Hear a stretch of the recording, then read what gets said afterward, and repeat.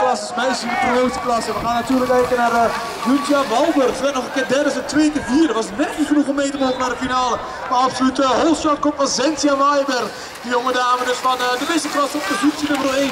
Dus gevolgd door Walberg. Dan zit ook natuurlijk uh, Lisbeth van Nieuwenhuis. Zit nog eens wat dichterbij gezeten met Zentia Waaiberg. Dus misschien kan ze nog ergens een aanvalletje wagen. Ze is in ieder geval aan het loeren bij Walberg.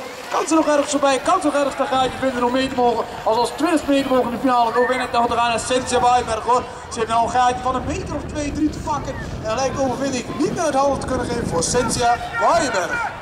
Gaan we verder met de promotie.